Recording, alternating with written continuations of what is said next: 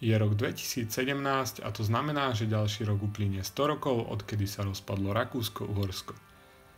Čo ak by sa z nejakého dôvodu táto stará cisárska ríša obnovila, s rovnakými hranicami, aké mala v roku 1914 pred Prvou svetovou vojnou, ako presne by táto ríša vyzerala dnes, ak by prežila celú tú dobu? Až 14 krajín by prišlo o svoje celé územie alebo o jeho časť. Táto ríša by sa tak stala 39. najväčšou krajinou na svete s veľkosťou zrovnateľnou s Mianmarskom v Ázii.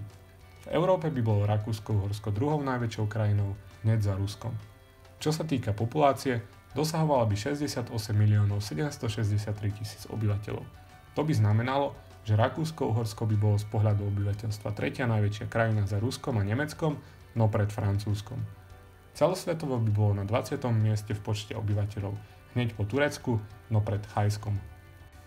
Obyvatelia by boli rozdelení podobne ako v Starej ríši v roku 1914. Nacionalistické boje totiž významne prispeli k pádu ríše pred 100 rokmi. Toto by pravdepodobne predstavovalo veľký problém aj dnes.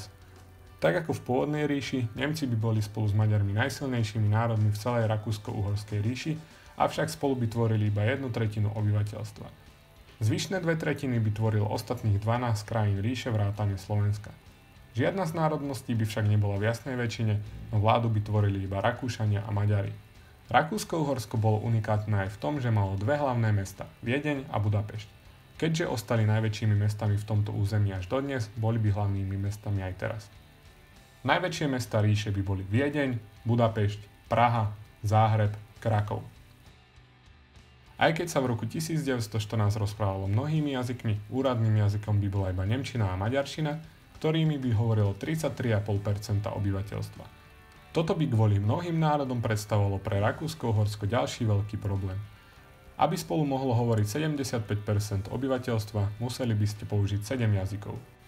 Čo sa týka náboženstva, katolíci by tvorili väčšinu s 44,37%, pravoslávni kresťania by boli na druhom mieste s 18,2%, protestanti by tvorili iba 4% a sunnickí moslimovia 3,3%. Ateisti by tvorili až 20% populácie.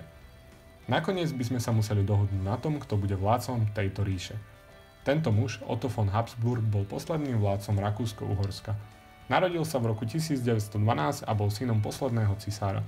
V roku 1961 sa vzdal všetkých nárokov na rakúsky trón a zomrel nedávno v roku 2011. Jeho syn, Karl von Habsburg, ktorý žije dodnes, by sa tak stal dnešným cisárom.